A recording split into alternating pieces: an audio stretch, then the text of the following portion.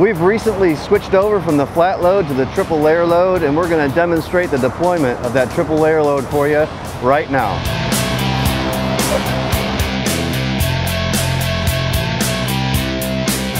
Okay, let me show you what it looks like inside our cross lay hose bed. This is ladder 62 and uh, we've got our cover.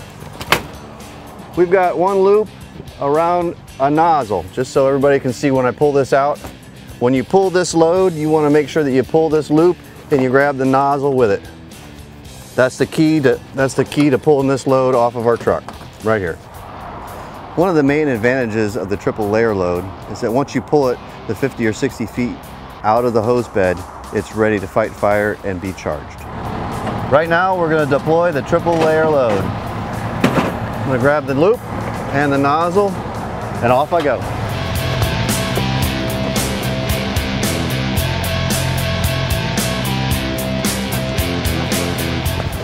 As you can see, now that I've advanced it out of the hose bed, the hose is ready to be used in an attack situation.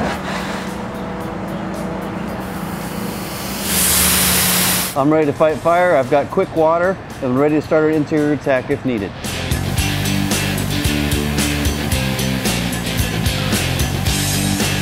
All right, now that the hose has been deployed, we're gonna go ahead and go illustrate the steps to repack the triple layer load.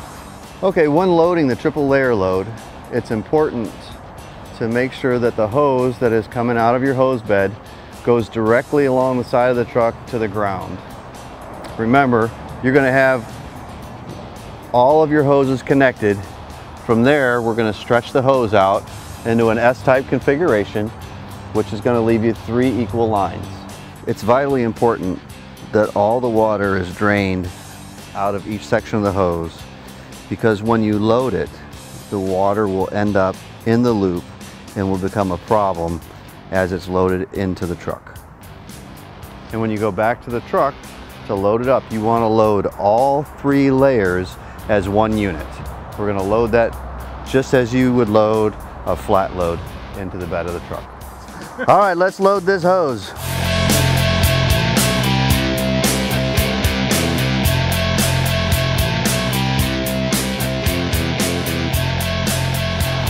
Lay it down here. Perfect.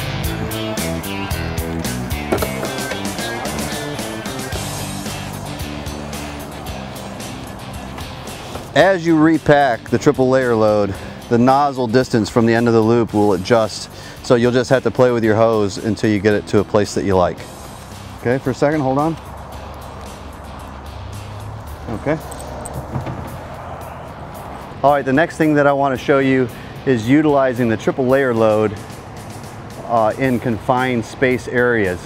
We run a lot of calls on interstate. I-75 is right outside of our station. And so when we deploy this hose on the side of I-75, we've got a limited area away from the truck that we have to deploy it in. Let me show you a technique that we use to deploy the triple layer load in a confined space type area. When we deploy this load, the firefighter is gonna take the nozzle and go forward towards wherever the car fire is, and the officer is gonna take the loop part of the triple layer load and walk towards the back of the truck allowing us to put a split in the hose and allow this hose to be deployed without hanging on the side of the truck. All right, Brian, Brian, Brian Angelson's gonna hop up there, grab the nozzle, pull it down with the loop. Once he gets that loop down, he's gonna give me the loop. My engineer can help by splitting, and I'm gonna pull by going this way.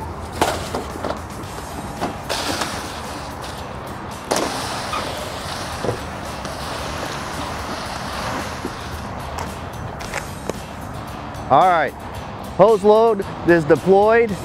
He's ready for quick water to attack any kind of vehicle fire that we get in a confined space area.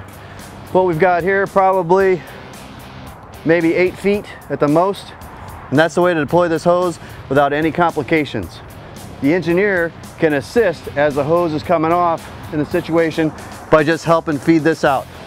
My pump panel's here. He can get me water without any delay. I want to personally thank firefighter Brian Angelson and firefighter Steve Kraus for assisting with this video.